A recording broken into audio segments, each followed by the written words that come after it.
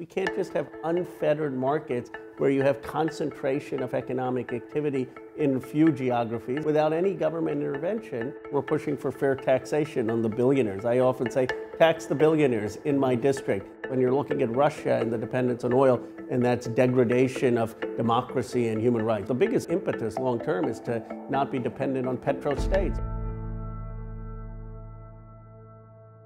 You represent a, a congressional district, uh, which includes Silicon Valley in California. Could you just say something very briefly for international audience about how you see your role and what you do? I represent the heart of Silicon Valley. You have Apple, Google, Intel, Yahoo, Cisco, LinkedIn, Tesla, all in my district. Uh, the market cap of the area is around $11 trillion, probably the most wealth generated in any place in human history. I mean, in context, Russia's entire GDP is 1.6 trillion. Obviously, GDP and market cap aren't analogous, but it just puts something in perspective. You've written a very, very good book about dignity in a digital age. Astonishing in particular because you don't expect a hard-working politician to write a book as such a sort of sweeping account. And, and uh, you know, you talk about place, you talk about class, you talk about race, you talk about immigration. You really cover the kind of waterfront of the issues. And I'm very struck that you, on the one hand, you argue that for a democratic capitalism, so it's not a book, it's not a socialist politics. No. And on the other hand, you also say you argue strongly for empowerment and for participation. So it's not a classic liberal politics. How, what kind of politics do you see? Do you see yourself as developing a new kind of politics? I call myself a progressive capitalist, which means the Progressive Caucus stands for some very basic principles. Everyone should have health care, universal health care, Medicare for all. Everyone should have free college. Uh, everyone should have child care. Everyone should have uh, the start uh, in life with universal uh, preschool uh, and that we are pushing for these policies and we're pushing for fair taxation on the billionaires. I often say, tax the billionaires in my district so that we can give people the building blocks, the same opportunities I had as the son of immigrants in a middle class family growing up in Pennsylvania. Let me explain very briefly where I think the correction is on Adam Smith, if I can be bold enough. Adam Smith, yeah. I believe, uh, articulated markets and free enterprise. And um, the great uh, economist Amartya Sen uh, makes the moral case for markets. People should have the opportunity to flourish and have transactions and express themselves apart from the collective will. So there is value in markets, in exchange, in entrepreneurship, in innovation. But the missing part, one missing part of uh, uh, Smith was a lack of focus on place. We can't just have unfettered markets where you have concentration of economic activity in few geographies, as has happened in the United States, without any government intervention in what's going to happen to rural America, to black and brown America, without any recognition that the human being are, are, is not just consumer maximizing, is not just a rational economic actor, that we have other things that contribute to our flourishing, like family and community and place. Right. And so this argues for the role of government to shape markets to be for the common good and not having a view that just the unrestricted market is going to magically align with what is in the common good. Right.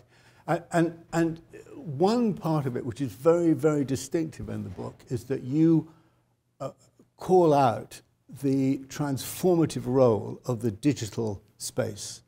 And you also call for an Internet Bill of Rights, um, which is very distinct. Could you just say something about what that is and why you've done that? Sure. Well, the digital space is transformative in two ways economically and uh, politically. Economically, 25 million digital jobs in the United States by 2025.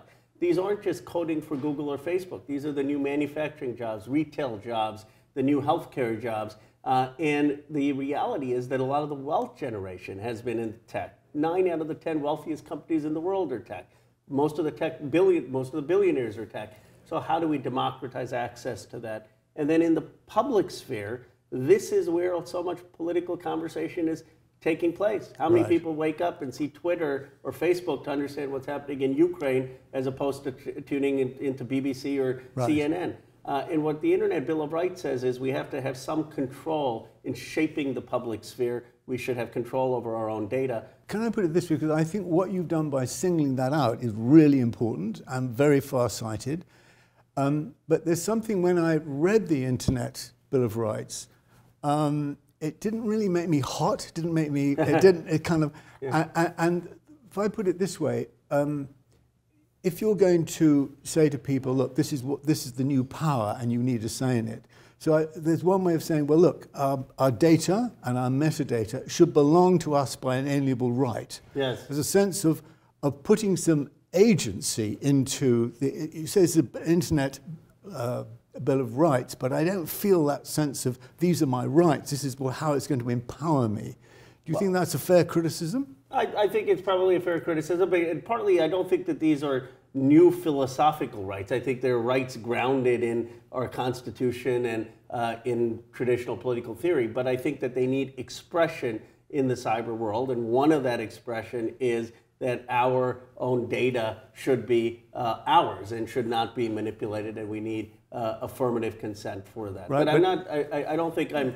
You know, trying to say, okay, here's a whole new set of rights that uh, you know John Locke or someone didn't discover. It's more how do we protect these rights uh, online. Yeah, my question is about how people get energized by saying yes, understand that, because it seems to me that one of the uh, lamentable powers of Trumpism is it is appeals to people's sense of agency. It gives them a sense of empowerment, and many of the progressive causes, they seem, yeah, yeah, yeah, okay, but you know, how's it going to affect my life? How's it going to empower me? That's a good me? point.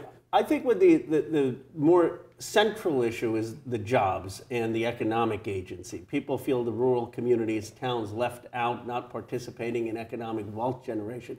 And then we come, as our president did, and said, look, Intel is bringing $20 billion to Ohio, and this is going to revitalize yeah. the Midwest. That is the affirmative agency. You can build wealth, create value in a modern economy. I think the Internet Bill of Rights has to be about you should build the architecture of the Internet. You shouldn't be just a guinea pig where your data is taken to support a candidate that you may not, and this is affirming your citizenship. But that is a, uh, a, a uh, secondary point. Uh, uh if people don't uh, aren't having a good job and creating wealth and building value, uh, then they're not going to care maybe about their privacy online as much. Right, but if they go together, don't you think there's a sense in which the, the democratization of these rights is as important for people, empowering them, as the, the income is?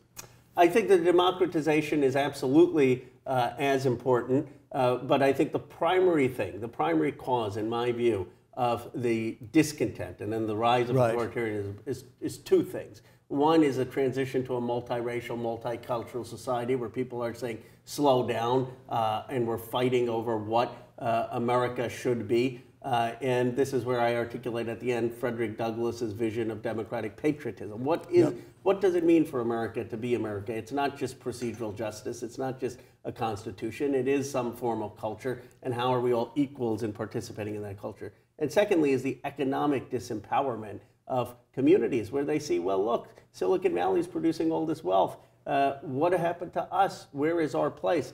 This is where Trump came and said, You built America. You don't see a place for yourself in America. I'm going to bring you back. Of course, he sold snake oil. Yeah. We have to sell uh, a real vision. Have you said to Tim Cook or to the, you know, the, the, the, the, the great figures of these huge internet companies, I want democracy to be in charge of capitalism? Yes, I mean I don't know if I put it that way, but I've uh, I, uh, you know Tim Cook will say, well, we we're building privacy settings into the new Apple phone. Why aren't you acting in Congress? You ought to be passing the Internet Bill of Rights.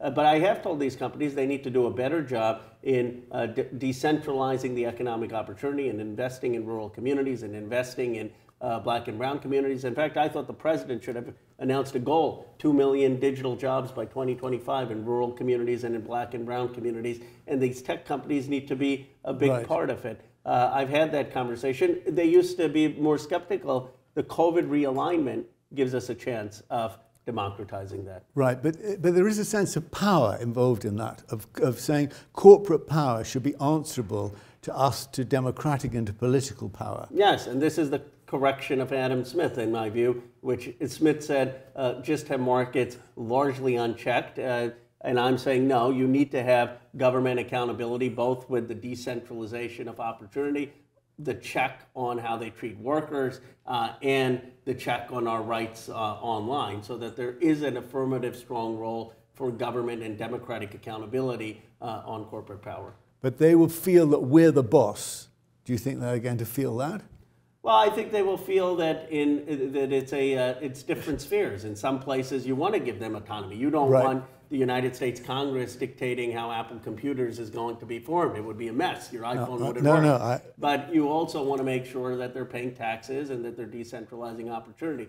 And this is, and maybe we can end on this point. This is the central view of markets, and why I call myself a progressive capitalist. The the thing that is often lost is markets are a human construction that are defined by democratic societies to be able to uh, help with the common good. And so, what we need to figure out is how do we define the relationship of what a market is? And our view of the last 40 years has been too much of letting corporations define the rules without smart, well crafted state intervention. What I'm calling for is a smart uh, state policy that looks at community, that looks at equality of opportunity, but allows the private sector to still flourish and have innovation. Given the war, given the role of Putin and what's happening there, how do you think that's now going to affect uh, what, is, what is taking place in terms of progressive politics here in America? Well, well, the biggest, uh, I mean, I think there's consensus in the United States that Putin's invasion is illegal, immoral, that he's committing uh, war crimes. But the biggest uh, impetus long term is to not be dependent on petrostates. When you're looking at Russia and the dependence on oil, and that's degradation of democracy and human rights. When you look at the Saudis and the brutal bombing in Yemen, when you look at Venezuela and Maduro's repression of his own people, what is a common thread? It is petrostates. And how do we get uh, away from that? How do we affirm democracy? We need a moonshot in renewable energy, in climate policy, uh, and that is the affirmation of democratic society and a lack of dependence on, on these authoritarian regimes that are linked, in my view, to petrostates. Because if you're a petrostate, you don't have to innovate, you don't have to be creative, you can just drill.